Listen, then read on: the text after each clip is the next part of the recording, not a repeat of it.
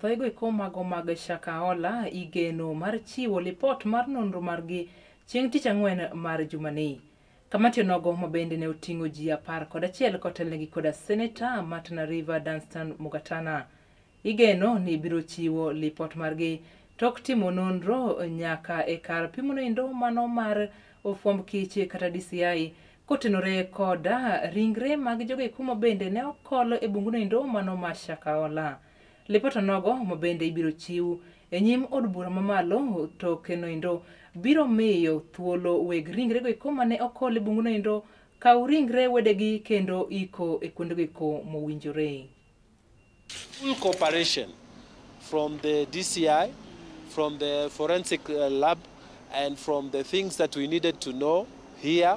And this is in total contrast to some other government officer like the chief pathologist, who did not give us the, the, the cooperation we expected. But this, the DCI, they've been up to the task. There is nothing to hide. They have given us the information we require, which will add up. Uh, and Kenyans, uh, let us wait.